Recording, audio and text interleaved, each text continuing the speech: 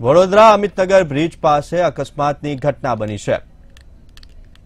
Vadodara Amitnagar bridge પાસે અકસ્માત થયા હોવાની ઘટના હાલ સામે આવી રહી છે. દિવસે દિવસે અકસ્માતોની સંખ્યામાં વધારો થઈ રહ્યો છે ત્યારે વડોદરા અમિતનગર બ્રિજ પાસે કાર અને ટ્રક વચ્ચે અકસ્માત સર્જાયો છે. અકસ્માતમાં ગાડીનો કચ્ચરધાન નીકળી ગયો છે જો કે સદનસીબે આ અકસ્માતમાં કોઈપણ પ્રકારની જાનહાનિ સર્જાઈ ન હતી. જે પ્રમાણે દ્રશ્યો સામે આવી રહ્યા છે, ભયંકર અકસ્માત સર્જાયો હતો, પણ ઘટનામાં સદનસીબે કોઈપણ પ્રકારના જાનમાલને નુકસાન થયું નથી. અમિતનગર બ્રિજ પાસેની આ ઘટના છે, જેમાં પૂરપાટે આવતી ગાડી અને ટ્રક વચ્ચે અકસ્માત સર્જાયો હતો.